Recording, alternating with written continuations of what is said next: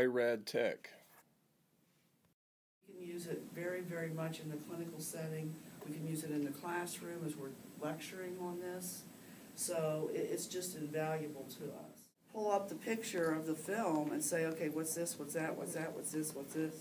And then that reinforces that uh, learning and also know, they know that we're gonna come by and quiz them, so they better be up on it. It could be on a phone, it could be on your iPhone or your Droid. It can also be on a mini iPad or even our regular size one. So let's just look at a chest. And then it shows the actual um, positioning, so that with our visual learning that we have, they can see right then and there how the positioning looks. The shield has to be in place and, and where the central ray goes. They wanted to write a note about, uh, let's say a, a technique factor or whatever they want to put, they can, uh, start typing that in and then it's there. And if they want to keep it or they can delete it, they can write their own little notes for that. And then the nice thing, this one showed that as well, but you notice it didn't have any kind of image of what the final thing should look like. So this now does show them an ideal, of course, chest, which we know in the real world doesn't exist, but at least that's what we're attempting to get. HandyBase for iPad. Database Manager. Our HandyBase is basically, um, the way we keep our data on all of our students in the clinic site. It shows when they went in, they have to sign in and out on it, uh, any competencies they've done, their daily record of exams. There's, uh, this is our whole life right here in this handy base. Educreations Interactive Whiteboard. One of the courses I teach is image production, and it gets kind of technical, and you find yourself going on board and, and talking about um, various concepts in producing the image, whether it be circuitry of the X-ray tube, or just image production, the end result on your image. Okay, I'm gonna draw a graph. I talk a little bit I want you to follow first, and then I start drawing it. So, when you add filtration to the useful X-ray beam, let's say we start out at one hundred, and let's take it up to about, let's go to six hundred. So you have to understand, I'm Now, going slow for because our- the students for are our just learning curves. this. I can now give somebody an example, a visual example, which I know all of you, all of, I know I'm a visual learner, and I know most of our students are, am I correct? Especially in the health sciences. But I think it's such an awesome tool, and thank you so much for showing it to us. Teacher Kit.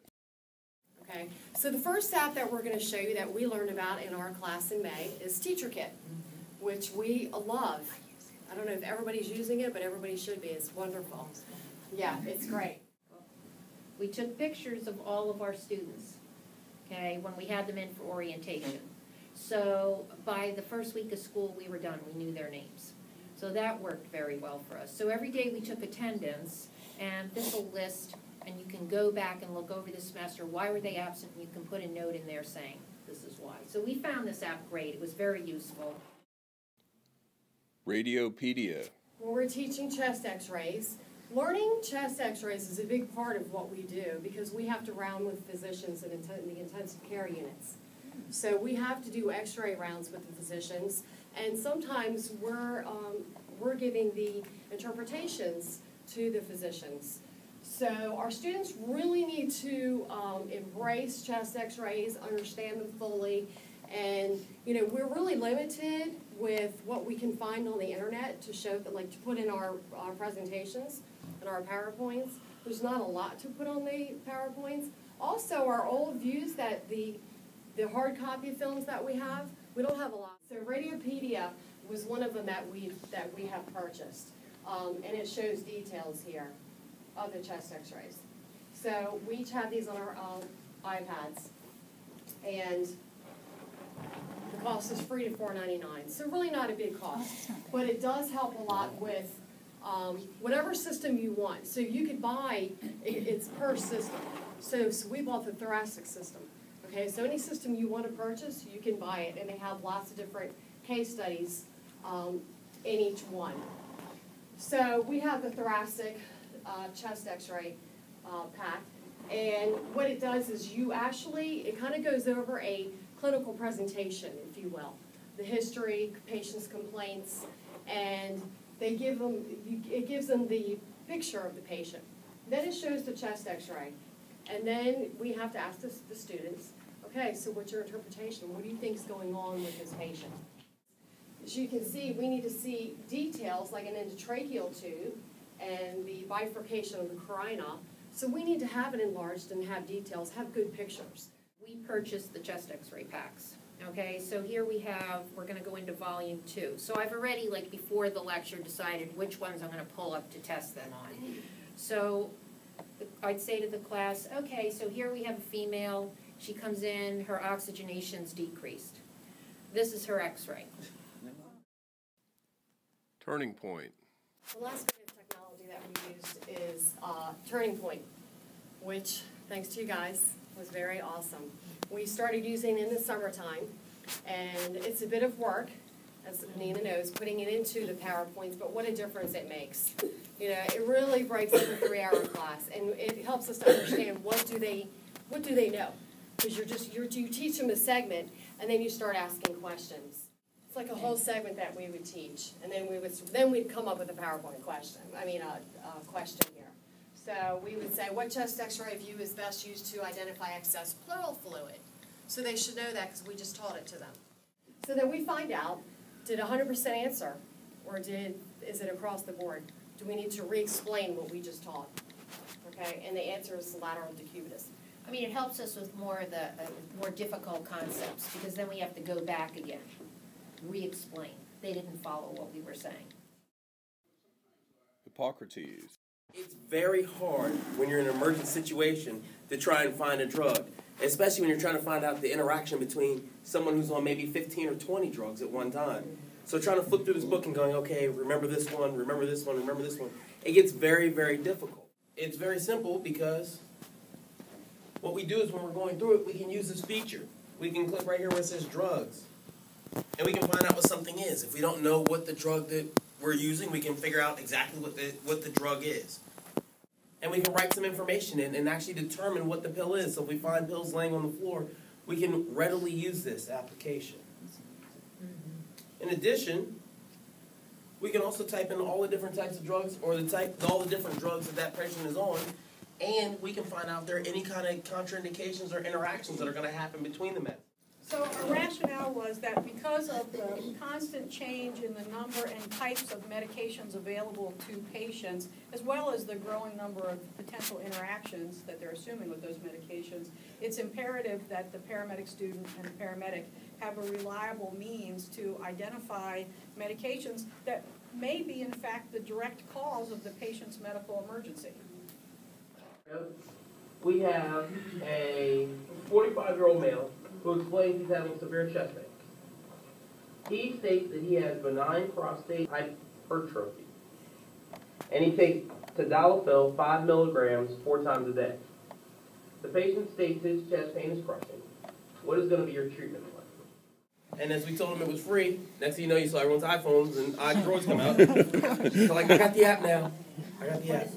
Second, it decreased the time significantly required for them to identify medication. Again, that might be um, causing the patient's medical emergency. Um, It also um, helped them with looking for potential interactions. If they find what we call the polypharmacy, we walk into the 85-year-old's house and the grocery bag of medications is laying on the table. So to help them identify potential interactions. Either way, both of those factors um, help the paramedic student to make the appropriate choice for effective, safe care of the patient. And again, last but not least, they are absolutely ecstatic that this can be used as a study aid outside of class. Eponyms. So if you discover something, or you invent something, or you're the first person to land on something and you name it after yourself, and if you're like me, you- who wouldn't, um, then you've produced an eponym, so it's something that's named after a person. Um, in the medical field, it can be things like a disease or a symptom. Um, radiology, there's some positions, I guess, they're named after individuals, so that's what an eponym is. Um, the nice thing about eponyms is that it has lots of entries, so there's more than seven hundred and fifty eponyms in this little particular app. Um, it's updated frequently, so the person, Andrew Yee and his company, update it often enough. If you have something that you would like them to add, you can ask them, submit the appropriate documentation to the software users, and they will add it in there for you, so it's, it's fairly, um, comprehensive. Um, it's categorized pretty nicely, there are, it's categorized either alphabetically, or you can go based on systems like cardiac, radiology, um, endocrine, and there's a, a random. Um, you can get it on lots of different formats, you can get it for Android, for Pocket PC, for Palm, we have it on our iPhone and iPad. You can even get get it downloaded as a PDF file, so no matter what kind of a, user you are, you can probably have access to Eponyms, the app. So you can look for things, like I said, alphabetically, if you know that you're looking in biochemistry, my favorite topic, um, or whatever. Um, the students in nuclear medicine, said, we used it kind of briefly, they thought it was pretty, pretty easy to use, especially if you could load it into your your iPhone, because, like I said, they all have smartphones. Um, they liked the phone format better because it was smaller. Um, they like the idea that it's almost like a flashcard, so if you wanted to test yourself, I'll show you the, um, kind of built-in system for that, so if you wanted to test it, you could. It's a nice reference source. Um, the only problem we had was there's not much in it for the actual, for nuclear medicine, which is probably true of most apps anyway. But there were a few things in there that they thought they could use. Littmann Sound Builder. The other thing I found was the Lipton, Lippman Sound Builder. Um, we don't do that much in nuclear medicine as far as listening for heart sounds, but if it's part of something that you do, um, you can choose um, a particular heart sound. If you have a stethoscope, it'll play that sound, and you can have the student listen to it and identify different heart sounds. So if that's Doesn't something do that lung you- sounds? Hmm, yes. It does? Mhm. Must see radiology. So the other thing that we kind of liked was this must-see radiology. But what they did was they, he comes up with a case, like fifty-four-year-old presents with acute left-sided weaknesses, and then you can view the case. So they're gonna show you the, um, anatomy. In this case, this is a CT scan. And the whole idea, what he did this was too, was to make it more interactive, because most of the time you look at a book, like one of those books, you see this, you know, see that image. You don't see the whole series. Mm-hmm. When you do CT, mean, um, you're talking 20, 40, 50 images mm-hmm.